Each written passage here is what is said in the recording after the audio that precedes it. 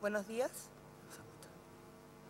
Nosotros somos representantes del Club de Investigadores Escolares del Liceo Municipal Eugenio María de Hostos de la Reina, quienes realizamos la investigación rescatando la memoria de Villa la Reina, la memoria de la autoconstrucción tutelada e identidad cultural, 1966 a 1980, a cargo de nuestra profesora de Historia, Belén Meneses.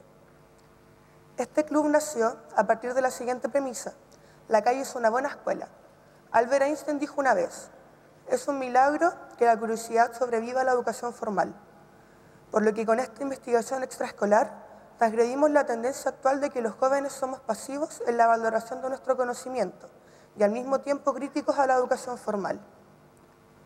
Nos acercamos a la historia local de este único espacio de autoconstrucción de viviendas sociales en Chile, Villa La Reina, un proyecto gestado y coordinado por el fallecido exalcalde y Premio Nacional de Arquitectura, Fernando Castillo Velasco.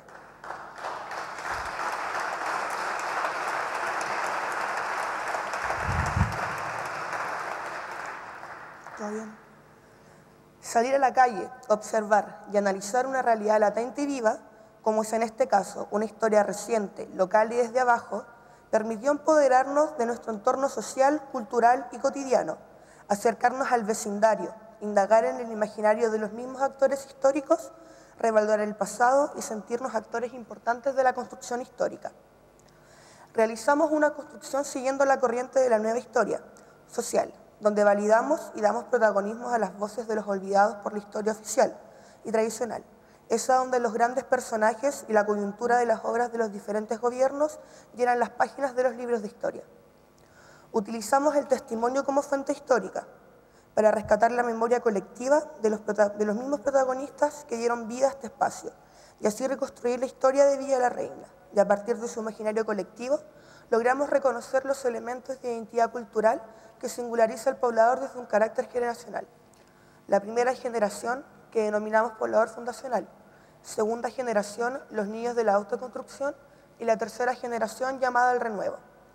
Como el testimonio como relato de un hecho histórico a partir de la experiencia individual, permitió rescatar esta memoria entendida como el recuerdo del presente para representar el pasado, o como lo plantea Mario Garcés, memoria suelta no vinculante, cuando estas memorias son compartidas, se le conoce como memoria colectiva.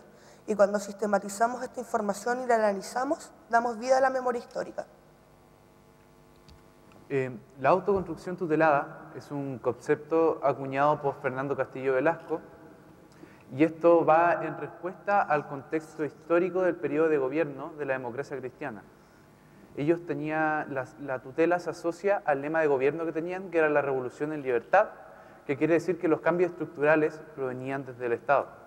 Y la autoconstrucción se asocia a uno de los objetivos de gobierno, que era la promoción popular, que la promoción popular consistía en potenciar al poblador desde el Estado para que sea un actor activo, en este caso, activo político, en este caso con la autoconstrucción y la organización de sus condiciones de vida. Em, analizamos de manera histórico-antropológico con un método cualitativo la realidad local de la Villa de la Reina. Nosotros seguimos eh, la línea propuesta por Mario Garcés en Recreando el Pasado, guía metodológica para la memoria y la historia local.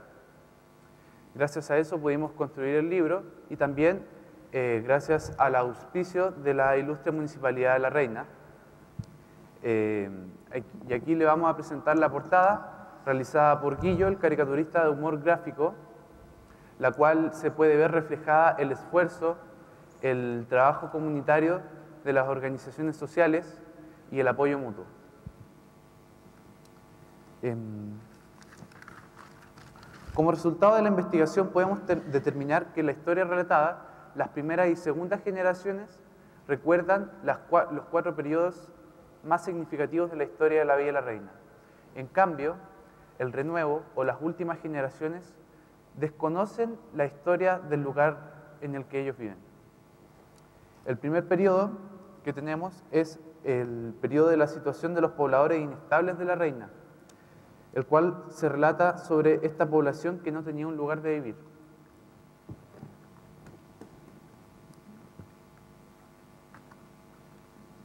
Aquí vamos a situar a un poblador fundacional, Manuel Valle, que nos dice, ¿qué hacer con esa gente que había nacido acá? Algunos cuidadores de sitios eriazos, otros inquilinos del fondo, pero como la gente tiene derechos y deberes, y entre sus derechos el haber nacido acá no era condicionante para que los echaran. Tenemos el segundo periodo que es llamado Proyecto para Pobladores Inestables de la Reina, en el cual nos relatan cómo se, gesta este proyecto de autoconstrucción, em, donde los pobladores se organizaron en 16 comités, los cuales estaban articulados por una federación poblacional de la reina, y debían juntar al menos 1.200 horas de trabajo para ellos tener el acceso a su vivienda. Al final, esto era un trabajo colaborativo porque nadie sabía para quién construían las casas.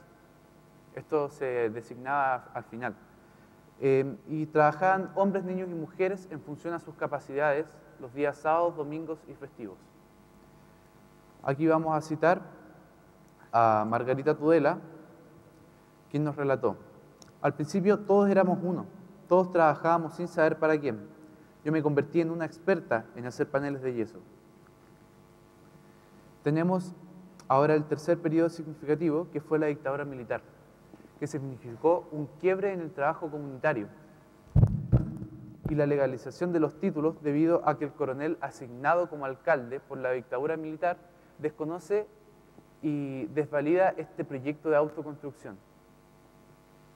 Aquí vamos a citar a Soledad Orellana Enríquez, quien nos dijo, la verdad de todo esto es que la dictadura nos marcó, nos dividió y había un miedo constante.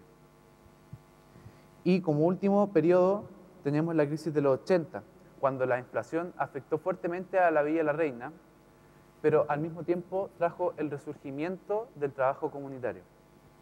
Aquí vamos a citar a Soledad de nuevo, quien nos dijo, Dentro de la iglesia hicimos el equipo de solidaridad y se nos ocurrió que podríamos hacer una organización para que trabajen con ellos. Y ahí nació Violeta Parra. Empezamos a acercarnos a los 80 y veíamos cómo venía peor la crisis. Solo comían los niños y los papás nada. Hagamos la olla común y también en turnos. El otro eje de nuestra investigación abarca la identidad cultural.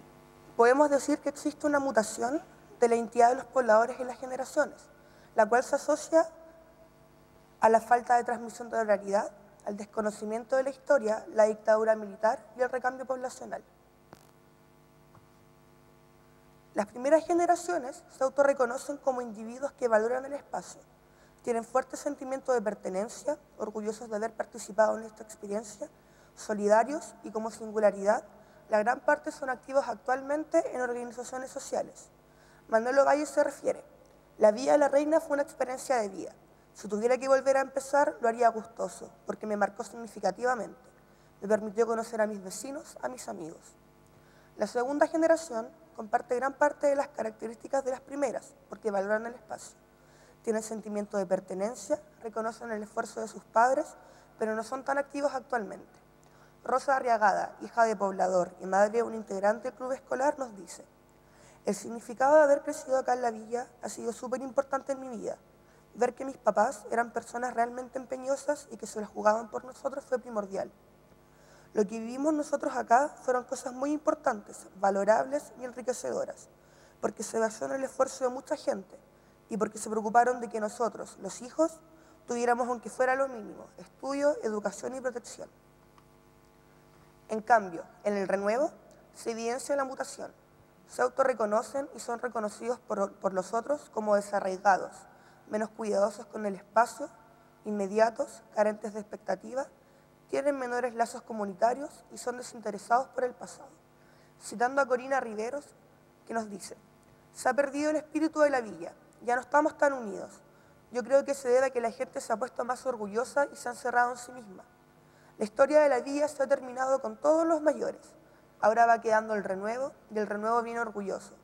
No sabe lo que costó tener esas casas a sus padres, porque fue harto trabajo. Por eso es muy importante que se vaya contando a la juventud lo que les costó tener su casa, para que ellos les tomen un poco más de cariño y respeto al lugar. Y un estudiante de nuestro liceo y poblador de la villa nos dice, yo creo que no existe esa motivación en esta generación por saber cómo se fundó realmente la Villa de la Reina. Como conclusión podemos plantear, ¿Será que se ha incitado a perder la memoria y a caer en el olvido? Concluimos que esta falta de transmisión de la oralidad ha generado una mutación de la identidad cultural muy evidente en el renuevo. La memoria como un ente colectivo en la historia de la villa se fue deteriorando y el olvido actuó en la memoria de dos formas diferentes, como ignorancia o desconocimiento del pasado, ya que la historia e identidad de los pobladores no se perpetúa en el tiempo, y como injusticia o desvaloración del pasado, ya que la historia fue desestimada y desvalorada por los descendientes que no tuvieron la iniciativa de recuperarle y destacar aquel pasado. Nosotros como club escolar eh, queremos contribuir a evitar la extinción de la memoria, de la historia desde abajo, de esa historia que no sale en los textos oficiales, esa que está basada en la, en la acción activa de la gente común, la que se organiza y lucha por conseguir un objetivo y también mediante nuestro libro perpetuar la historia olvidada. Y para aportar con lo que dice Mario Benedetti, el olvidador nunca logra su objetivo, que es encerrar el pasado en un espacio inviolable.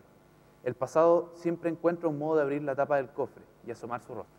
Muchas gracias por su atención.